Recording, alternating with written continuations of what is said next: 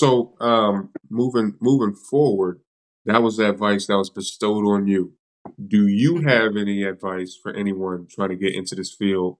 Say they want to be a 911 dispatcher, and you know they're listening to the story that that you're telling, and it's something that's sparking an interest in them. Do you have any advice that you want to share for maybe an up and coming or someone actually starting in the, that's already there that's just kind of starting to get ready to uh, get their their feet wet, so to speak, in the business?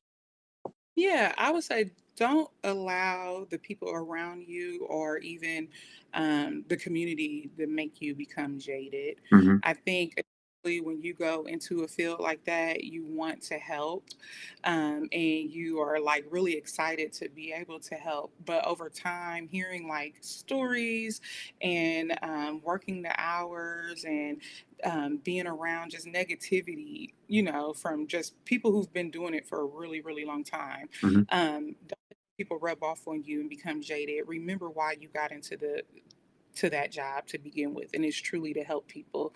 Um, and I think you know that was one of the biggest reasons why I decided to leave. It wasn't because I was jaded; it was because I was getting tired of some of the people around me, and it was just becoming like a toxic environment. Okay. Um, one of many reasons. It wasn't the only reason, um, but yeah, just don't become jaded because it's it is easy to become jaded in that field. hmm Uh, yeah, I, I agree because uh, on the on the outside, and even in even in even in a jail setting, um, one one thing that affects guys that I guess you know that's in my my side of the world is uh, is burnout because like Mm, you know you, you'll you'll hear me talking about it in other interviews too that um, nobody ever really calls us to say, hey man, we just want to let you know you're doing a great job.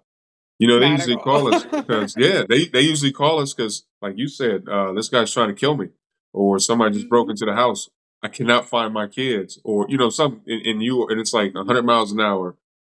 Um, well, it can be like 100 miles an hour going to every situation, and a lot of those times we are only given limited um, information. And because you said the caller is, is is your is your eyes into the situation, and you have to relay that message.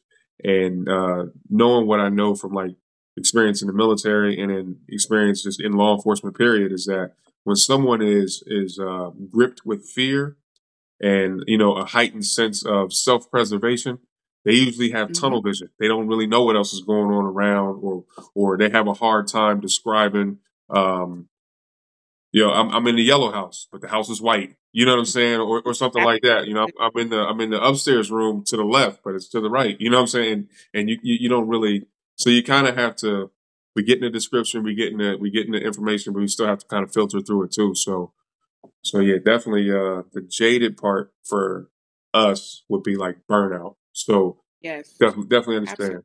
Yep, and I, I can I can relate a little bit to that too. And I've seen some some guys like that that and gals that that's happened to.